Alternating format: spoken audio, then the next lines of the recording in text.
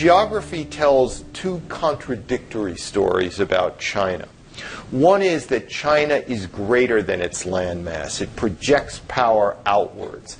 Uh, take Manchuria, 100 million people.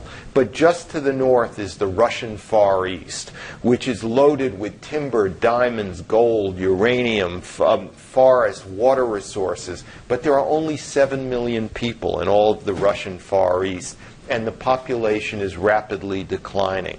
And this is a part of, uh, of Russia that had been part of China up until the mid 19th century.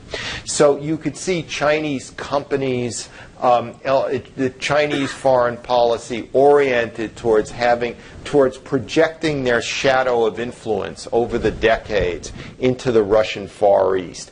In the West, China, as I said, abuts former Soviet Central Asia. China is building roads, railways, pipelines, all the way to the, near the Caspian Sea.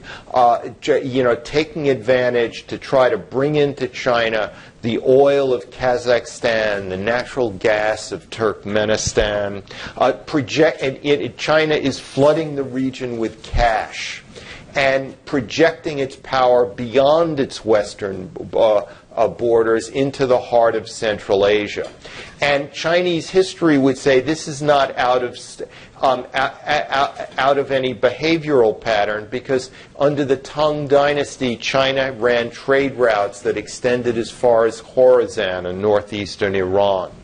Um, and then there's the Southeast Asia, where China's been uh, pr- uh, promoting a policy of divide and conquer, politically, economically, with the various weaker countries of Southeast Asia. So China is bigger than it looks on the map. China is also much smaller than it looks on the map because the, the dominant ethnic Hans are basically in the, in the center and in the east in the arable lowland cradle, agricultural cradle of China.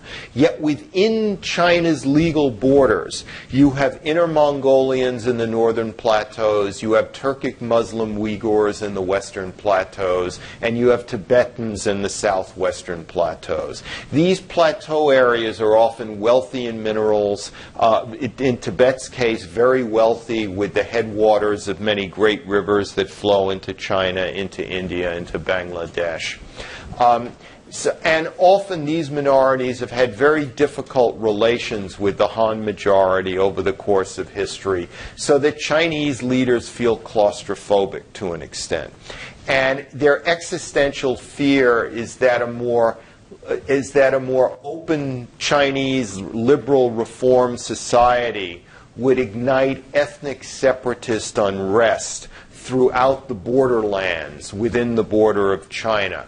Um, so that you know this is one of the reasons that uh, you know that motivates China's authoritarian nature.